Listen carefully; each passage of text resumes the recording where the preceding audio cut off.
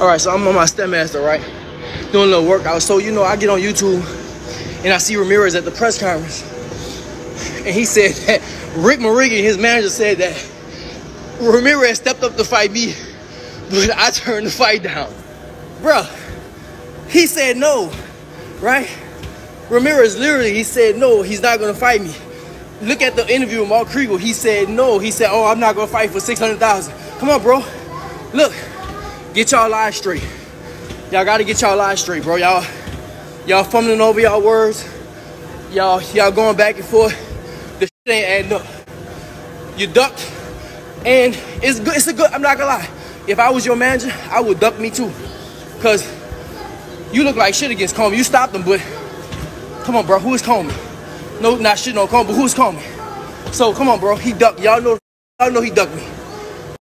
My career right now is in the second phase. It's time to go get those belts. But you have turned down two chances at the WBC belt. What am I not understanding?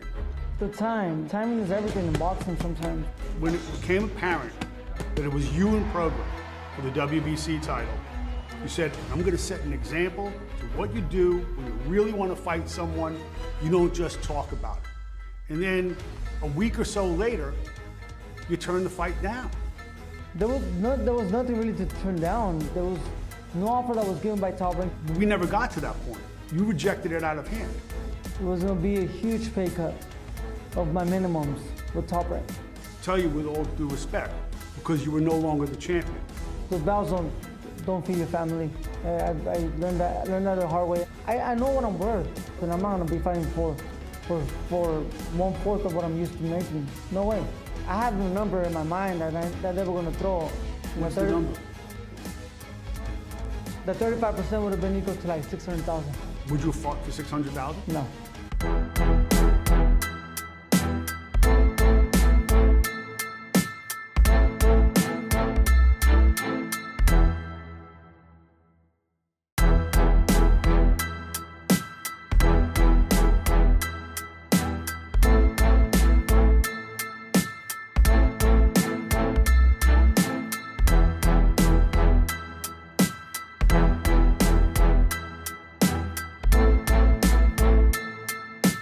Real shit, real shit, Jose. Before we get off, cause I'm driving and I don't like to text and drive.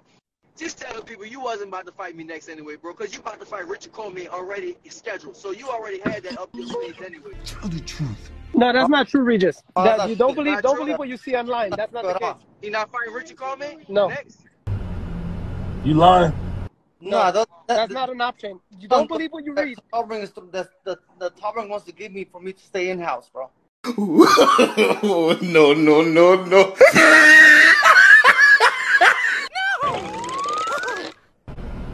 I like you, man. You lie a lot.